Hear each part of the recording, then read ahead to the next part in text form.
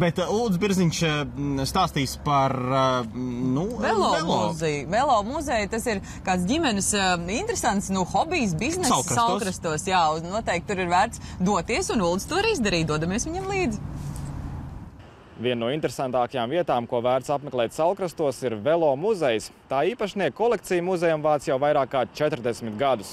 Kopumā kolekcijā aplūkojama aptuveni 60 eksponāti, kas aptver laika periodu no 19. gadsimta beigām līdz Otrajam pasaules karam. Viss, kas šeit atrodas, ir savāks tikai un vienīgi pa Latviju. Šeit ir Latvijā ražotie un Latvijā lietotie velosipēdi un lietas un mantas.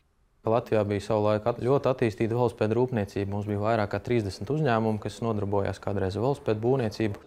Muzejs ir Seregina ģimenes hobijs. Aizsāk to ģimenes galva Jānis Seregins, un šobrīd muzejā kopā ar tēvu saimnieko arī dēli Guntis un Eduards.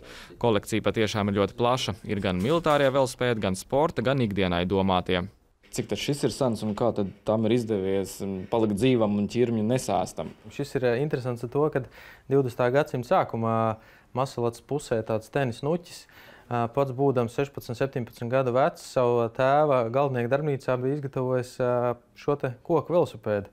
Un daudz gadus pat bija lietojis un, un braucis pa Masalats puses ceļiem. Ērts gan tas nav bijis, jo ādas ķēde mitrā dragnā laikā iztaipījās, bet ar metāla aptītie riteņi nekādu komfortu nedeva. Bet šis ir kārtējs pierādījums, ka Latvijas var, ja nevar nopirkt, uztaisīs pats. Runājot par riteņa riepām, to evolūcija savulaik bijusi ļoti interesanta. Sākumā visiem tiem augstrātiem bija tāds nu, riepas, tas bija vienkārši gumija gabals, tas bija kaučuks, atvests no sākuma no Brazīlijas. Un tāpēc tas bija ļoti dārgs materiāls. Ne visi varēja to sev atļauties, un tāpēc izmantoja vīrusu arī. Pēc kāda laika cilvēki izgudroja Anglijā duno pneimatiskas riepas, kā te. Jau pirmās piepūšanas riepas, bet iekšā vēl nebija kameras. Tas bija tā kā līdzīgi mašīnai.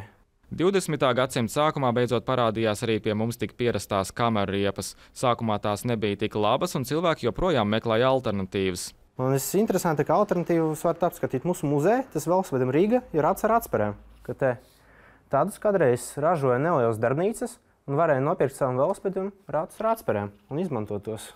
Muzeja kolekcija nemitīgi papildinās, tādēļ šo vietu ir vērts apmeklēt tik pēc pāris gadiem. Garlaicīgi nebūs. Pēc muzeja apmeklējuma taisnībai pašam gribas sēsties uz velospēda. Ko vēl interesanti var redzēt Salkrastos, redzēsiet rītdien.